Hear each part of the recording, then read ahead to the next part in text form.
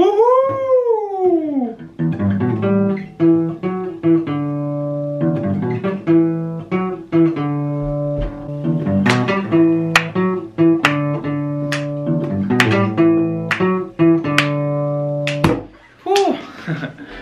Visus su Velykom, e, mano tokios paprastesnės, liūdnesnės Velykos, tai tik tais ryte sumušėm su tėvais kiaušus, e, pasisveikinom ir pavalgėm, o po to aš likau čia namuose, tėvai išvažiavo į sodą, nu tai dabar vienas namie sėdžiu, su draugais į lauką neišeisi, vien dėl to, kad į lauką įmanoma tik tais dviem asmenim išeiti, trim jau negalima. Ir antras dalykas, visi dar su šeimom švenčia, sėdi namuose, tai visi užimti.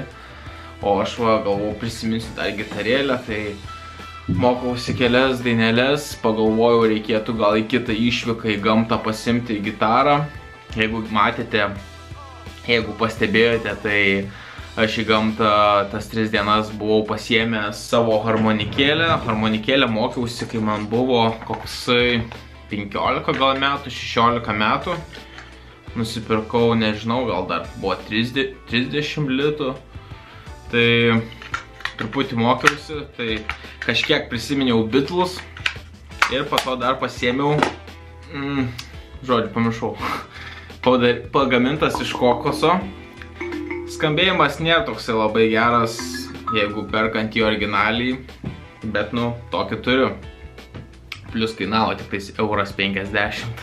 Tai va, bet e, yra ir gerų žinių, nepaisant to, kad čia sėdžiu vienas namie, gavau iš tėvų smagę dovaną. Labai praktiška, 2,2 litro gertuvė. Tai principė tokią bombą kiekvienas žmogus turėtų išgerti per dieną. Šiaip pagal mano kūno e, svorio indeksą, pagal mano kūno svorį turėčiau daugiau negu 2 litrus išgert, kažkas link 2,5-3 litrai tai per dieną. Na, bet dabar mažiau sportuoju, tik namų sąlygom, tai automatiškai vandens mažiau suvartoju. Ir dar gavau, kadangi jūs labai skundžiatės, kad, kad aš keliauju be šviesų, tai... Pum. Žodžiu, ledukas bus man ant galo dviračio. Na ir šiandien uh, gražus skaičiai, jūsų jau yra 11 tūkstančių. Tai labai ačiū, kad prenumeruojat, panašu, kad mano video 3 dienos miške pakliuvo į trendą.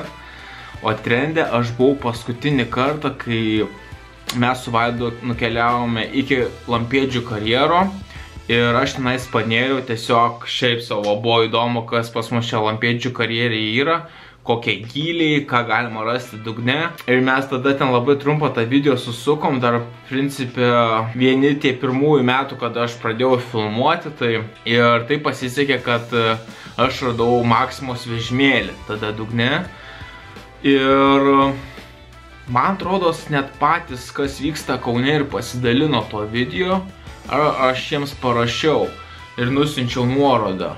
Kažkas to tokio buvo, tai čia buvo labai senai, 3-4 metai atgal, jei neklystu. Žodžiu, dar buvau studentas.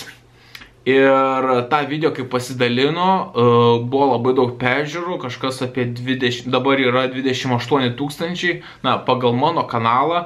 Tada aš savo kanale turėjau mm, kažkas apie 200, 200 gal subscriberių, kažkas tarp 100 ir 300 subscriberių, čia maksimum.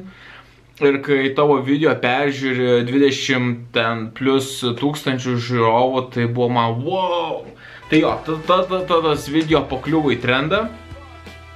Ir tai buvo vienintelis kartas, kada aš buvau pakliuvęs į trendą, vien dėl to, kad va, kas vyksta Kaune pasidalino, o jie pas Facebook'e ten turi NN daug žmonių, ten virš 200 tūkstančių.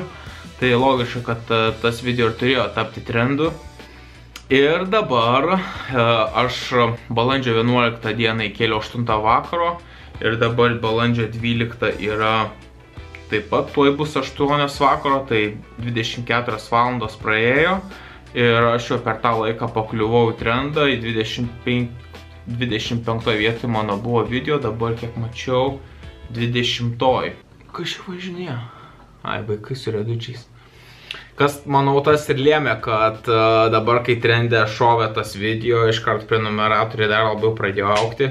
Ir dabar jūsų yra 11 tūkstančių, tai žiauriai dėkui, smagu, kad patiko. Vadinasi, kaip ir viską gerai padariau tam video. Žinoma, e, buvo daug tos tipo kai kurių, iš kai kurių žmonių negatyvo dėl vinių, dėl vėlos, dėl to, kad rodžiau kaip vėžius verdu dėl to, kad e, pagavau neleistinus vėžius ir dėl to, kad mm, pjoviau lasdyną, pjoviau glišakius ir kad naudojau nelegalų būčių kas yra, tu, ta prasme, per didelis. Tai va tokio susilauko komentaro, tai čia buvo tas ma mažasis procentas, visi kitiems kaip ir viskas tiko ir patiko. Bet taip, pilnai suprantu, vinis galima pakeisti, bet pjovimas lasdyno aš kažkaip neįvardinu didelės problemos.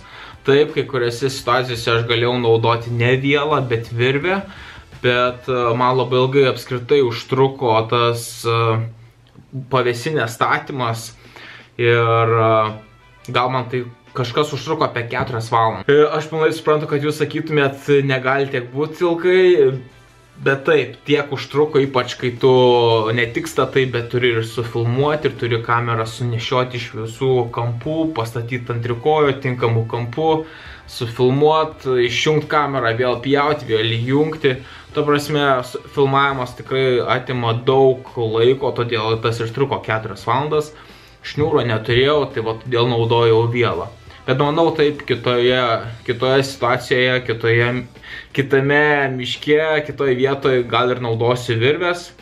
Virvės nusipirkau, bet kaip lasdyno pjovimą, vėžių virimą, rodymą, kaip vėžius gaudau, verdu, nežinau, man tai čia natūralus dalykas, na jei kam nepatinka, tai nepatinka, kaip sakoma, visiems neįtiksi, bet aš kažkaip mėgstu parodyti taip, kaip yra ir nenuslėpti kažkaip kai visi, kaip kepiau vištą, visiems patiko.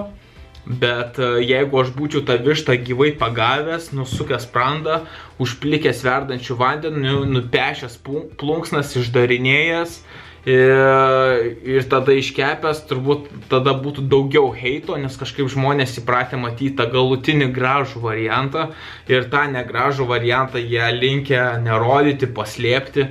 Tai aš kažkaip kaip tik už tą natūralumą ir viską parodyti, nesvarbu ar tai yra gražu ar negražu, bet taip jau yra. Tai išvirti vėžiai, jie neatsiranda išvirti, juos reikia dėti verdantį vandenį, kad išvirtų. Ir reikia dėti jau į burbuliuojantį, į šimtą jau užkaitusi vandenį, o ne į šaltą. Nes kai tu įdedi į verdantį vandenį, principė nuo karščio vėžiai iš karto ir miršta, Bet jeigu tu dedi į šaltą ir po truputį kaista tas vanduo, tada vėžiai cypia ir jie kankinasi. O kai verdantį dedi, jie iš karto negyvi. Tai va, tai žinokit, jeigu ateityje iš tų pastabų aš tikrai netaisysiu, aš sakau, mėgstu natūralumą ir jisai bus toliau. Tai va, su šitų video norėjau jums padėkoti, kad labai aktyviai komentavot, laikinot ir žiūrėt mano trijų dienų miškė išgyvenimą.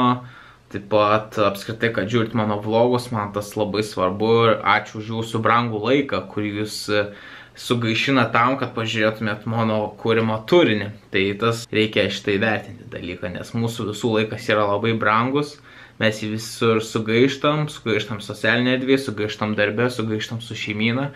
Na ir dar jūs turite laiko pažiūrėti, ką aš sukūriau. Tai va dėl to jums ir noriu padėkoti, kad jūsų daugėja, kad mūsų bendruomenė didėja. Dėl e, vinių ir vėlos e, šitą suprantu, šitą bandysiu pasitvarkyti. E, kitų pastabų kažkaip labai nesureikšminau.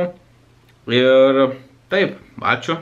Tai dar kartą visiems su šventom Velykom. Stiprių kiaušų ir nenuobodaus karantino. Ačiū, kad prenumeruojat ir iki, iki ryt.